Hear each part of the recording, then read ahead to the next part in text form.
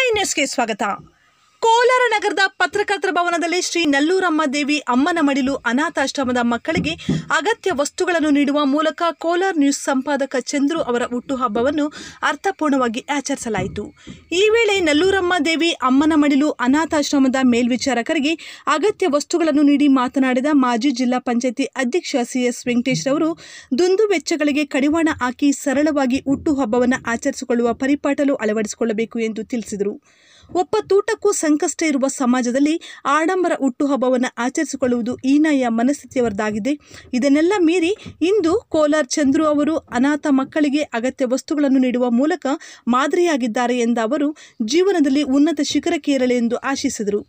ಈ ಸಂದರ್ಭದಲ್ಲಿ ನಗರಸಭೆ ಸ್ಥಾಯಿ ಸಮಿತಿ ಅಧ್ಯಕ್ಷ ವಿ. ಮಂಜುನಾಥ್, ಜಿಲ್ಲಾ ಕಾರ್ಯನಿರತ ಪತ್ರಕರ್ತರ ಸಂಘದ ಅಧ್ಯಕ್ಷ ಮುನಿರಾಜು, ರಾಜ್ಯ ಕಾರ್ಯಕಾರಿಣಿ ಸದಸ್ಯ ಗೋಪಿನಾಥ್ ಪತ್ರಕರ್ತರ ಸಹಕಾರ ಸಂಘದ ಜಿಲ್ಲಾಧ್ಯಕ್ಷ ಕೆಎಸ್ ಗಣೇಶ್, ಜಿಲ್ಲಾ ಕಾಂಗ್ರೆಸ್ ಎಸ್ಸಿ ಎಸ್ಟಿ ಘಟಕದ ಅಧ್ಯಕ್ಷ ಜಯದೇವ್, ಜಿಲ್ಲಾ ಕಾಂಗ್ರೆಸ್ ಒಬಿಸಿ ಅಧ್ಯಕ್ಷ ಸವಿತಾ ಮಂಜುನಾಥ್, ರಾಜ್ಯ ಕ್ರಾಂತಿವೀರ ಸಂಗೊಳ್ಳಿ ರಾಯಣ್ಣ, ನೌಕರರ ಸಂಘದ ಅಧ್ಯಕ್ಷ ಎನ್ ಮುನಿರಾಜು, ಯುವ ಮುಖಂಡ ಗಾಣಿಗ ಮಹೇಂದ್ರ, ಗೋಕುಲ ಮಿತ್ರ ಬಳಗದ ಪದಾಧಿಕಾರಿಗಳು ಹಾಗೂ ಪತ್ರಕರ್ತರು, ಅಭಿಮಾನಿಗಳು ಹಾಜರಿದ್ದರು.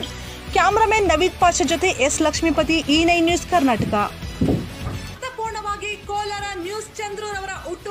ಆಚರಣೆ ಕೋಲಾರ ನಗರದ ಪತ್ರಕರ್ತರ ಭವನದಲ್ಲಿ ಶ್ರೀ ನಲ್ಲೂರಮ್ಮ ದೇವಿ ಅಮ್ಮನ ಮಡಿಲು ಅನಾಥಾಶ್ರಮದ ಮಕ್ಕಳಿಗೆ ಅಗತ್ಯ ವಸ್ತುಗಳನ್ನು ನೀಡುವ ಮೂಲಕ ಕೋಲಾರ್ ನ್ಯೂಸ್ ಸಂಪಾದಕ ಚಂದ್ರು ಅವರ ಹುಟ್ಟುಹಬ್ಬವನ್ನು ಅರ್ಥಪೂರ್ಣವಾಗಿ ಆಚರಿಸಲಾಯಿತು.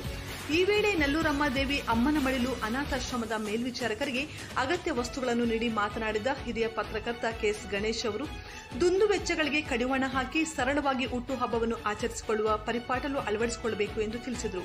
ಒಪ್ಪತ್ತೂಟಕ್ಕೂ ಸಂಕಷ್ಟ ಇರುವ ಸಮಾಜದಲ್ಲಿ ಆಡಂಬರ ಹುಟ್ಟುಹಬ್ಬವನ್ನು ಆಚರಿಸಿಕೊಳ್ಳುವುದು ಈನಾಯ ಮನಸ್ಥಿತಿಯವರದಾಗಿದೆ.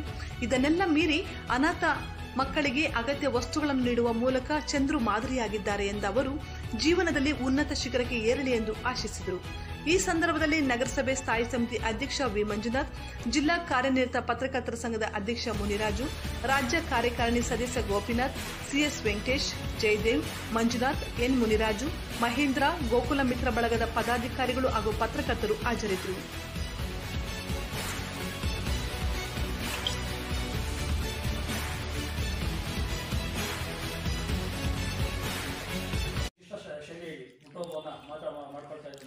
ಚಂದು ಈ ಬಾರಿ ಆಶ್ರಮದ ಮಕ್ಕಳಿಗೆ ನೆರವಾಗ, ನೆರವಾಗಬೇಕು ಅಂತ ಒಂದು ಕರೆಯನ್ನು ಕೂಡ ಕೊಟ್ಟು ಅವರು ಉತ್ಸವವನ್ನು ಆಚರಣೆ ಮಾಡ್ಕೊಳ್ತಾ ಇದ್ದಾರೆ. ನಿಜ ಹೇಳಬೇಕು ಅಂದರೆ ಆಶ್ರಮವನ್ನು ಹೊರ ಜಗತ್ತಿಗೆ ಪರಿಚಯ ಮಾಡಿದ್ದು ಚಂದ್ರು.